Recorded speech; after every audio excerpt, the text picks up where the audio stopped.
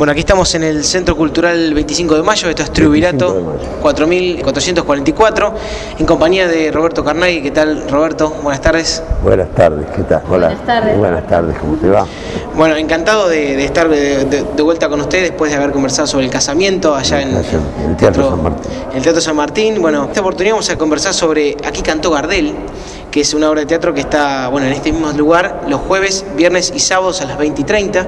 Bueno, para nosotros obviamente es un, es un honor siempre tenerlo en el programa y pensar bueno, que, que, esta obra de teatro se da en el lugar donde Gardel cantó una de sus últimas veces, ¿no? La última vez. La última vez. Sí, sí, después de acá ya no, no cantó más en ningún otro lado, viajó, nosotros se tenía que ir, ya tenía la gira preparada. Sí. Eh, hizo función sábado una sola función y dos el domingo, una a la tarde y una a la noche, y después cuando sale quiere canta en, la, afuera, la gente lo estaba esperando, ah, canta ahí afuera, se paró el tránsito, pues el tranvía y un colectivo que pasaba, o sea, la gente estaba, el teatro estaba lleno, ¿no es cierto? Pero al margen de eso, pienso que costaba un, peso la entrada, que yo digo un peso, que es la realidad, por ahí era plata, en ese momento un peso, ¿no es cierto? Sí, sí. Era un gesto, ¿no? También el hecho de haber cantado para la gente. Sí, sí, una costumbre parece ser, porque después me enteré que también otros cantantes a veces salían para la gente que no tenía plata para pagar la entrada o porque no pudo entrar porque no había lugar. Claro. Entonces canta afuera. Yo pienso que mayormente mm, debe ser gente que no pudo pagar, ¿no es cierto? Porque en esa época en Urquiza no había tanta gente ¿no es cierto?, como para que este teatro tiene 450 localidades, una entrada a la tarde, el sábado, el domingo, indudablemente para gente que no ha tenido un dinero no podía pagar, pero sí le encantaba Gardel y bueno. No, no, claro. Yo me pongo a pensar, bueno, en este espectáculo que si bien es un homenaje a Gardel, lo homenajea de un lugar distinto, ¿no? Usted hace de, un poeta llamado Boca Arcángel, que, bueno, está justo homenajeando a Gardel, bueno, homenajeándolo de alguna manera, eh, está haciendo un recorrido sobre su obra, sobre sus mejores tangos y justo casualidad el mismo día que Gardel cantó en este teatro por última vez, ¿no? La obra encara esa noche, esa última noche de un lugar distinto. A mí me gustaría saber, ¿no? Antes de conversar, hablar sobre la trama, de qué trata la obra, cómo está encarada, qué es para usted Gardel, ¿no? ¿Qué significa la figura del Zorzal? Eh, que es bueno, una para figura imprescindible para todo argentino, ¿no? Para mí, digamos, de acuerdo a lo que ha pasado, mi mi, niñez está conectado con el tango, porque en casa la hermana menor de mi mamá se, pues, se escuchaba la radio y se escuchaba tango. Este, mi padre era italiano y cuando escribía Italia eh, ponía ópera, nos encerraba en, el comedor y ahí escuchaba ópera y escribía. Pero se escuchaba la radio, las telenovelas y el tango fue algo para mí, mis, comienzos. Eh, conocí eh, a las orquestas porque cuando ya era adolescente iba a bailar al club, las orquestas llegaban a los clubes. Este, de Troilo, Pugliese, venía la orquesta, ¿no es cierto? Y bueno, se bailaba. A diferencia de lo que es ahora, ¿no es cierto? Donde la gente cuando va a ver un espectáculo musical generalmente gritan o bailan, pero nadie baila, nosotros bailábamos. Después venía, una vez que terminaba, eh, la típica que bailaba, eh, que, se, tenía un spa, un tiempo, eh, después venía jazz y por ahí había orquestitas de jazz, y si no, discos, se pasaban discos, y ahí, este, bueno, eso era muy común, todos los fines de semana había una orquesta. Y después, no es que, no es que hacían un solo club, en Villa por ahí venían al Casba, que era un club que tenía mucho espacio, este, y después por ahí, después se iban a, Munro o iban a Torcuato, iban a distintos lugares. En una noche hacían, porque tocaban no toda la noche, hacían un espacio de, digamos, de varias, varias eh, dos o tres entradas de media hora, ¿no sé, y después se iban, no, mucho más. Este, a veces eh, eh, se tocaba más, depende de qué, orquesta. Bueno, yo conocía a Pugliese, a Troilo, no sé, todo, todo Tanturi, este, todos los... los eh, ¿A usted no se le dio por tocar, no? ¿Eh? No, no, no, no, no, no, no, me tocaba la guitarra, pero de, de, de, digamos, de, cantaba sin saber nada de lo que era la guitarra. y después, bueno, eh, me gustó el jazz, ¿no es cierto? Cuando venía Louis Armstrong lo iba a ver. No me refiero más que nada para el público que solamente, que a veces piensa que eh, el tango no me gusta, ¿no es cierto? Que hay gente que dice no me gusta el tango. tango es música, no, vos no podés negar a Piazzolla o cosas, ¿no es cierto?, a lo que se toca acá, que esta es una orquesta maravillosa. Este, esto es un espectáculo que hacemos que es insólito, esto tiene 25 músicos, no hay ningún espectáculo en la ciudad de Buenos Aires, en la capital, que haya 25 músicos en escena con actores. Esta es la orquesta de Buenos Aires, la orquesta de tango de Buenos Aires.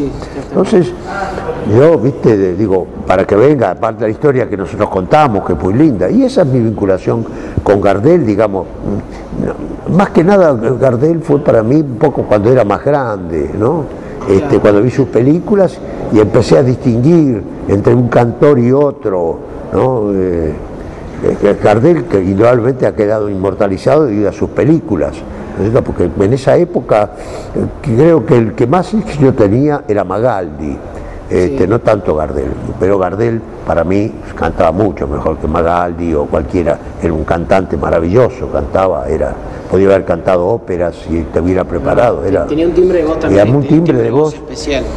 Y si ves las películas de Gardel, le digo para que la gente. Gardel, mm, vos ves en las películas, no es muy buen actor, se, se las rebusca como cualquier otro, pero cuando canta le pasan cosas.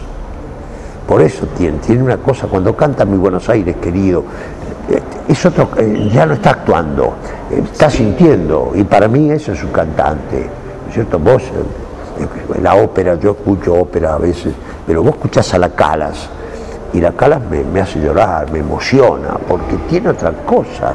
Y eso es cantar, no es solamente ser afinado, de cantar este, de alguna manera este, bien, y si no, ¿qué te pasa con eso? Indudablemente, viste, cantar Mi Buenos Aires querido, en la película, estaba conectado con la realidad, el tango estaba, tenía que ver también, ¿no es cierto?, con el espacio donde uno vivía y demás. Bueno, esto es un poco lo que nosotros mostramos en la obra, ¿no? O sea, volver a recordar, este, y aparecen estos personajes que no lo pudieron ver, ¿no? Bueno, todo lo que pasa. Y lo nuestro se convierte en una comedia eh, musical con...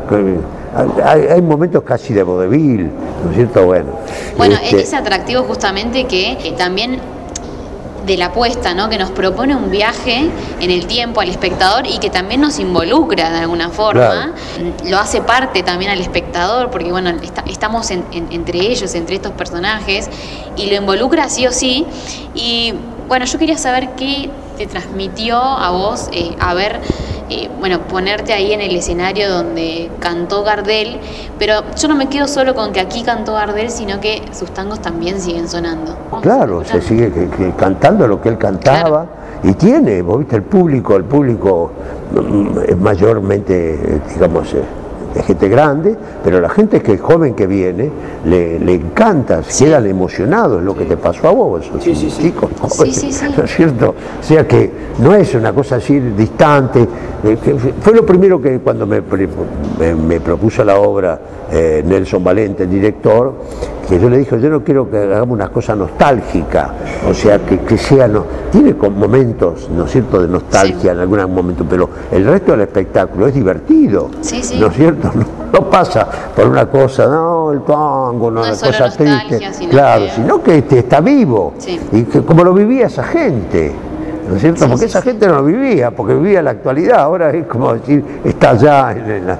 no, es, es, música, ¿no es cierto? Bueno, y bueno, los chicos y la gente que canta son maravillosos, vivieron buenos actores, y bueno, creemos, creo que hacemos un espectáculo eh, no común, ¿no es cierto?, dentro del musical, ¿no es cierto? Y fundamentalmente teniendo esa orquesta con Cuachi, Juan Carlos Cuachi y Marconi, recién entró Marconi, una semana dirige uno, otra semana ah, dirige otra, claro, los dos son los directores, la orquesta es mucho más grande, lo que pasa es que no entran los músicos en el escenario, es una orquesta de, de, 30 a 40 músicos, este, acá hay 25 más o menos, 25, 30 a veces depende.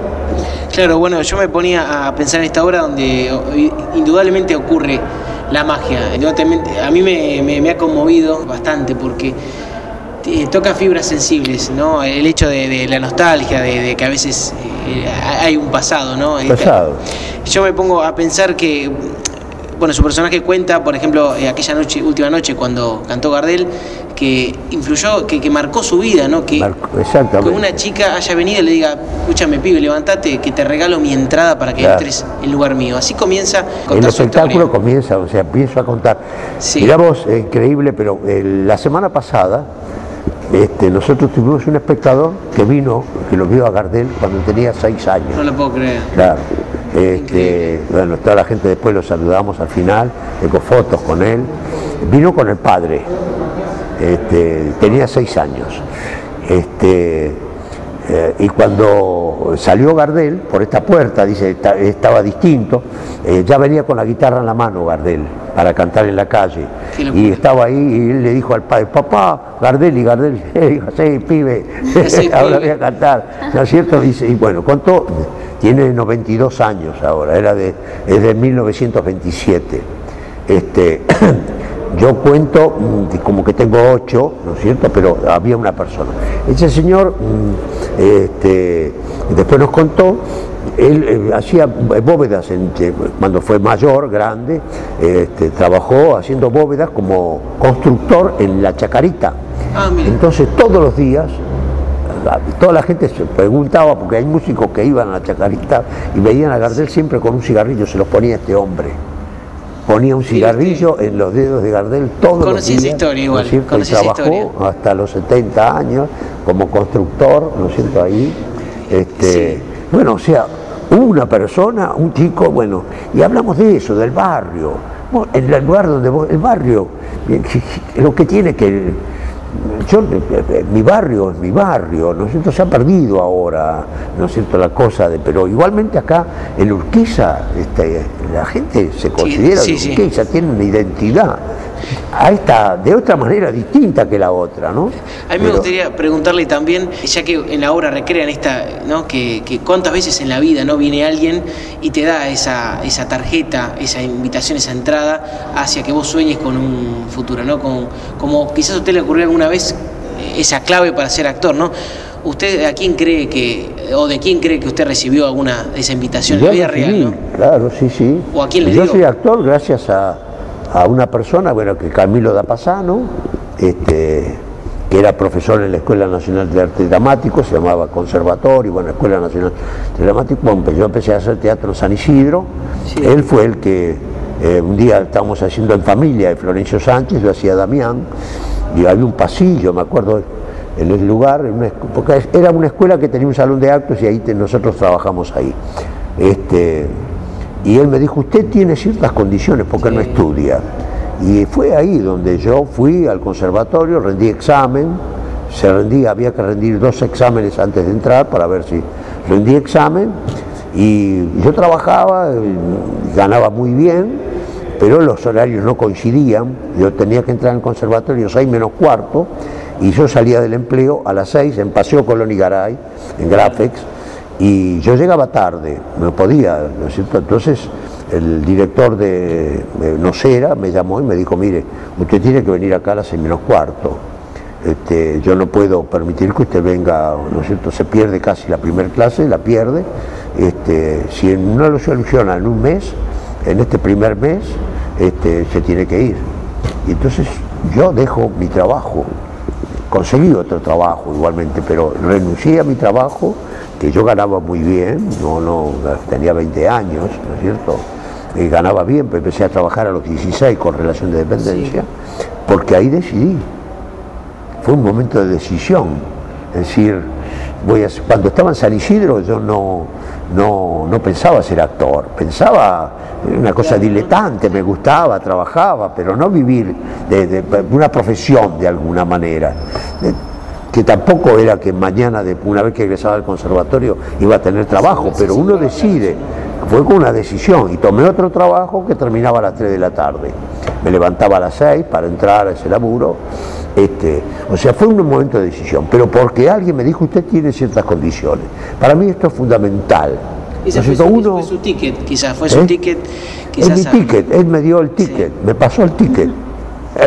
De decirme tal cosa y tal otra, se tomó el trabajo, quizás no se lo dijo a todos, mirá que éramos muchos ahí, este, no se lo dijo, otros chicos después fueron, a, fueron actores también, eh, estaba con nosotros su copidón en el grupo, pero él entró un poquito después, este, y o sea que él fue y actor, bueno, y dirigió y demás, eh, pero eh, me dijo a mí, Sí, sí, sí, qué increíble. digamos, nada, nada, más. Este, el hecho de. No, no es que yo era el mejor, había otro que era bueno, pero bueno, me no sé por qué.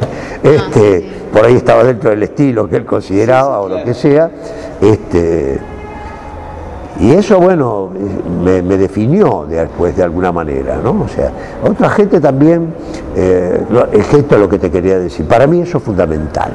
¿Viste? No es solamente decir eh, yo quiero ser actor o yo quiero ser músico, hay que tener condiciones.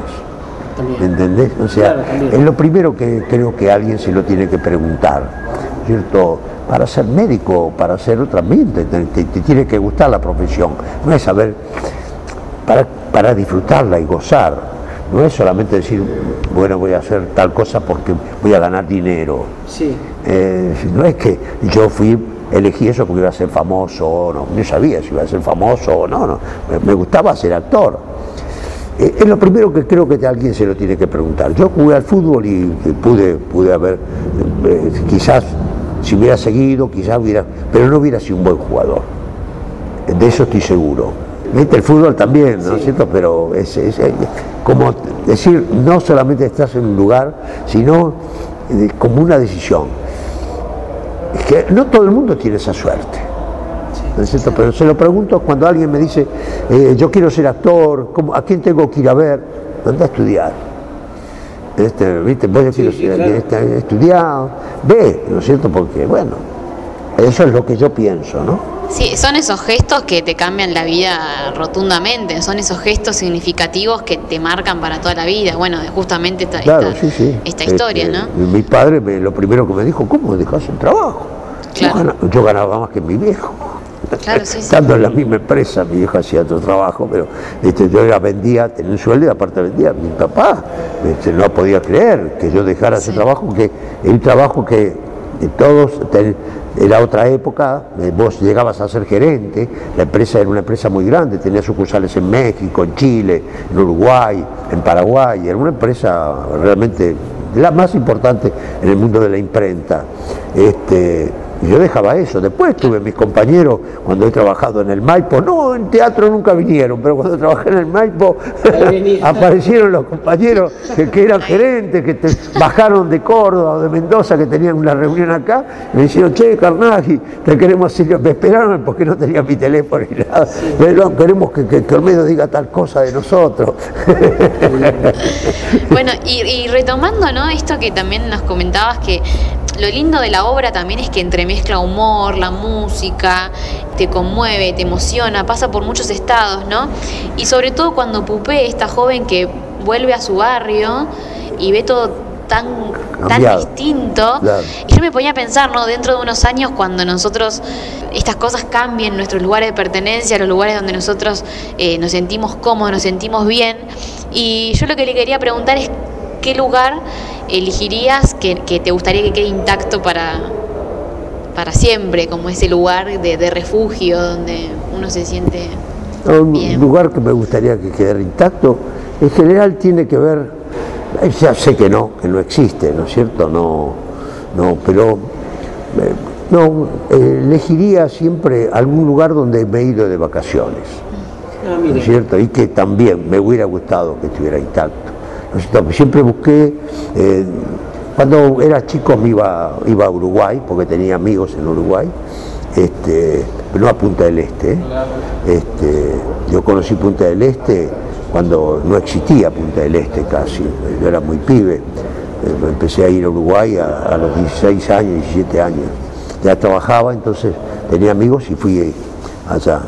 Este, no, eh, digamos, no exactamente Uruguay, sería un lugar de acá de la Argentina que está cambiado, ¿no es cierto?, totalmente, de donde mm, disfruté muchísimo, que iba, fui varias veces con mi familia, lugares de muy poca gente, muy poca gente, ¿no es cierto? Encontrar contacto con la naturaleza, ¿no es cierto? Donde mis hijos disfrutaron, disfrutaron, gozaban, ¿no es cierto? Bueno, ese tipo de cosas, esos lugares que no, cada vez menos encontrás.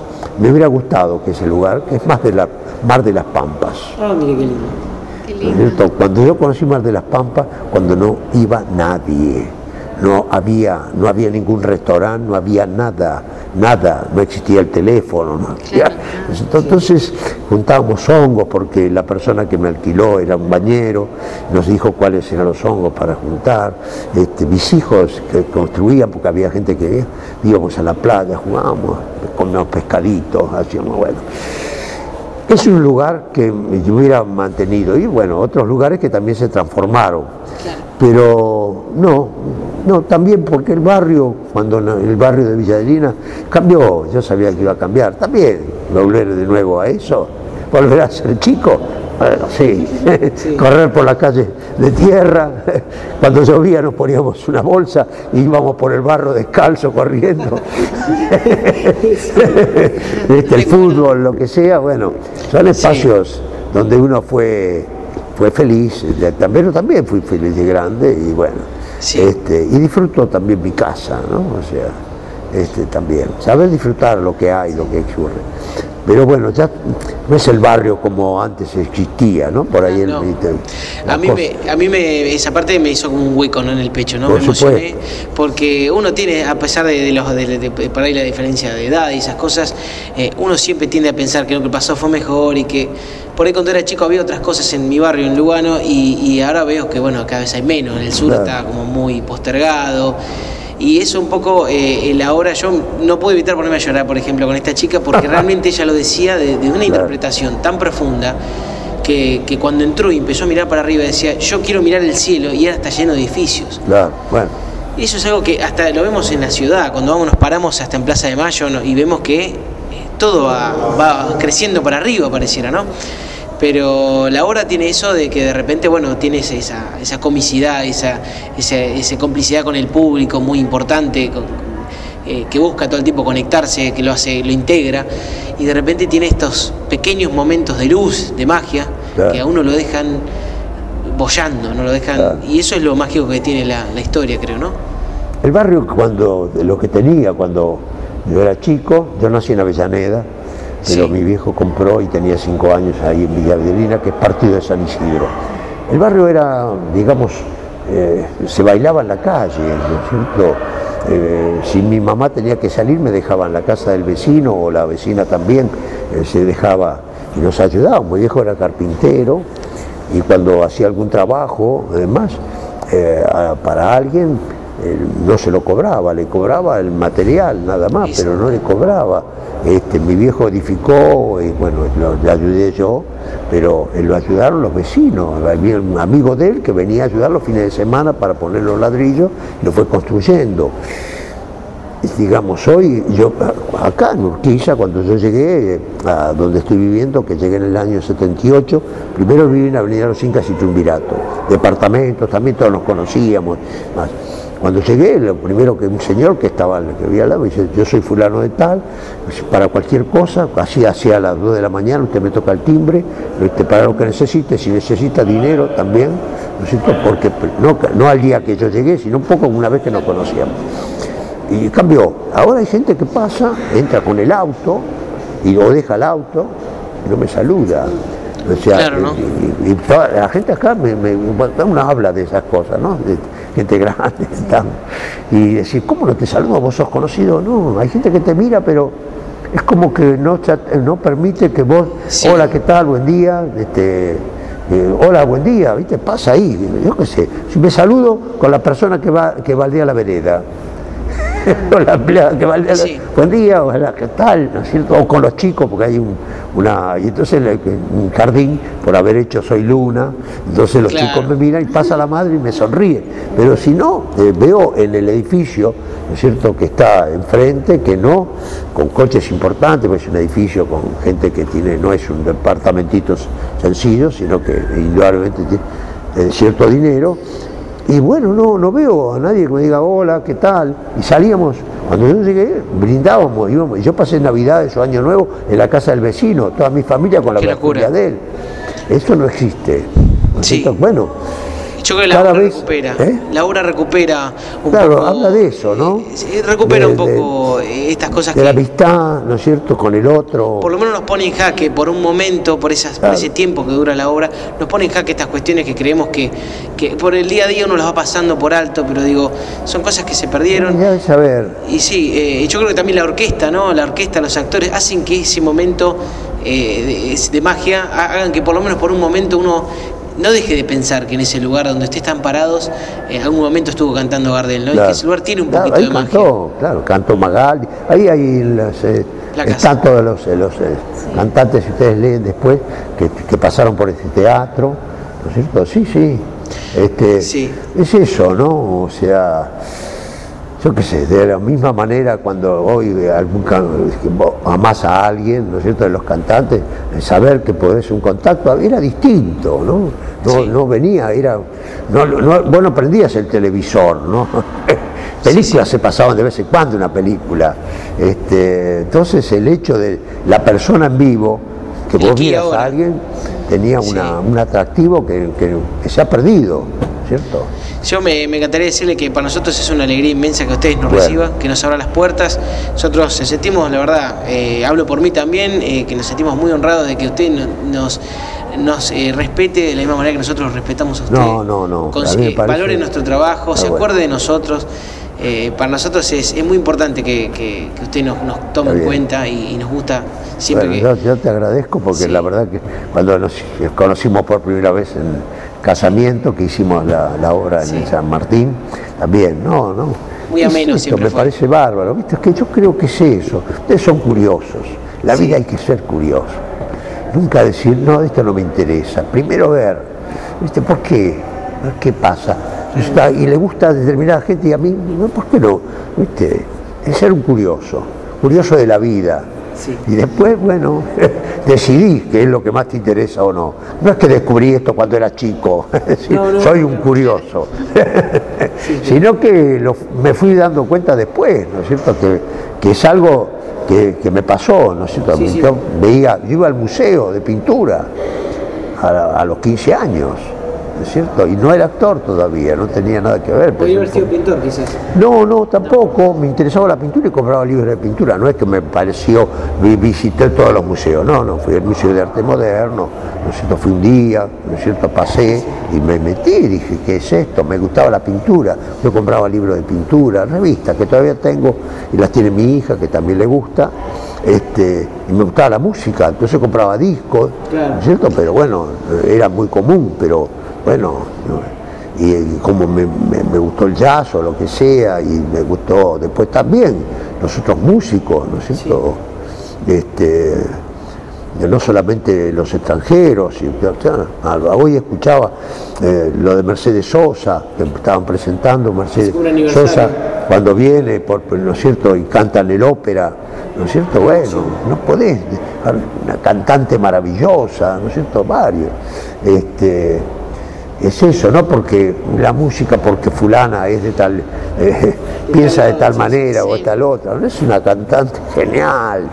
Roberto, de mi, parte también eh, agradecerle por, el respeto, por eh, esperarnos, por el tiempo, porque siempre nos reciben muy de una manera muy cálida y la verdad es que, como dijo mi compañero, a mí también la obra me emocionó porque más allá de, llevarnos en el tiempo, te transmite muchas cosas con, el teatro, con esto que, decías al principio, esto de sentir, de transmitirte lo que, lo que uno siente, ¿no? lo que sienten esos personajes y la verdad es que admiramos, o hablo por los dos, también admiramos mucho su trabajo. Para mí y para nosotros es un honor estar acá y agradecerle. muchísimas gracias, la verdad. Gracias a los dos.